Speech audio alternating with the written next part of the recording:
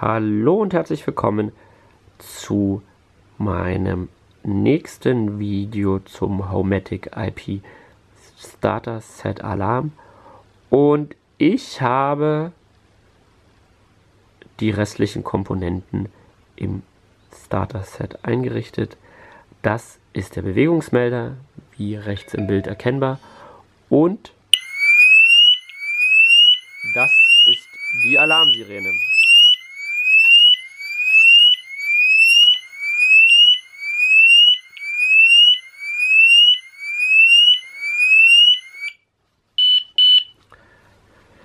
Wie wir gerade gehört haben, oder ja, wie wir gerade gehört haben, habe ich mich kurz bewegt und genau diese Bewegung ähm, hat die Alarmsirene ausgelöst. Der Bewegungsmelder hat es dann wahrgenommen.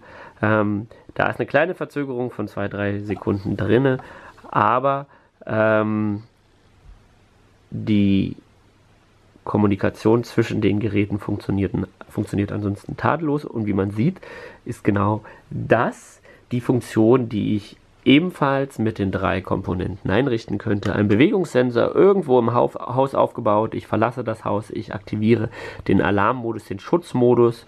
Ähm, jede Bewegung löst den Alarm aus und verschreckt den Einbrecher. Oder aber natürlich auch zum Beispiel das geöffnete Fenster, ähm, das wiederum den Alarmmodus dann auslösen könnte. Und ähm, genau das ist, was das Set ähm, im Endeffekt liefert. Das sind die Möglichkeiten, die ich mit dem Set im Endeffekt habe. Und ähm,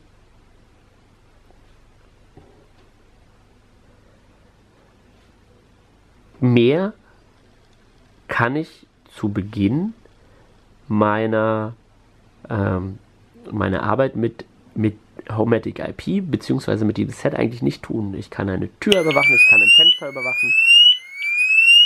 Auch bei geöffnetem Fenster. Hier ist der Sensor. Wir haben ihn jetzt einfach nur mal auf die Seite gelegt. Geht der Alarm ein. Im letzten Video hatten wir hier noch eine Meldeverzögerung eingestellt. Deshalb meldet hier der Alarm nicht sofort, sondern es dauert circa 10 Sekunden, bis überhaupt erkannt wird, dass ein Fenster oder Tür, eine Tür geöffnet wird. Funktioniert aber, wie wir jetzt schon zum zweiten Mal gehört haben, und es ist dann auch das letzte Mal, sehr hervorragend.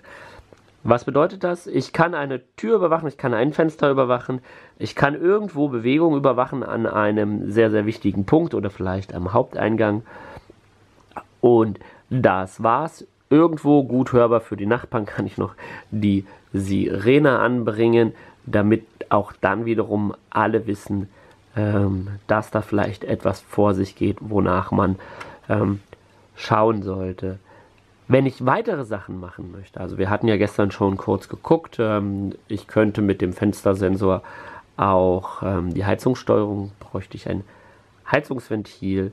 Ich könnte Licht steuern mit dem Bewegungssensor, dafür bräuchte ich aber den entsprechenden Schalter ähm, damit das Licht an und ausgeht. Dann muss ich hier zukaufen. Das ist also wirklich bloß die grundlegende Basis und das ist wirklich bloß die grundlegende Funktion, die ich für den Preis erhalte. Alles, was darüber hinausgeht, muss neu gekauft werden. Ähm, ich muss gleichzeitig auch dann gucken, ob die weiteren Komponenten, die ich mir noch vorstelle, also Schalter für Lampen, Heizungsthermostate, auch genau die sind, die ich möchte. Ähm, denn ich muss mich hier im Homematic IP Verbund bewegen. Wichtig, immer auf das IP achten. Ähm, damit ähm, die Kommunikation hier gewährleistet ist. Ist ein bisschen anders als zum Beispiel im Bereich Setwave, wo ich ja unterschiedliche Hersteller problemlos miteinander kombinieren könnte ähm, und auch integrieren könnte und das Ganze funktionieren würde. Insgesamt aber eine positive Erfahrung. Die Einrichtung ist einfach, wir haben es gesehen, ähm, die Inbetriebnahme auch mit den verschiedenen Wegen der doch wunderbar leuchtenden ähm, Statuslampe ähm, wurde mit Bedacht. Dem Nutzer wird geholfen, der Nutzer ist beruhigt. Ähm, und dann das Einrichten einfacher Regeln, überhaupt gar kein Problem.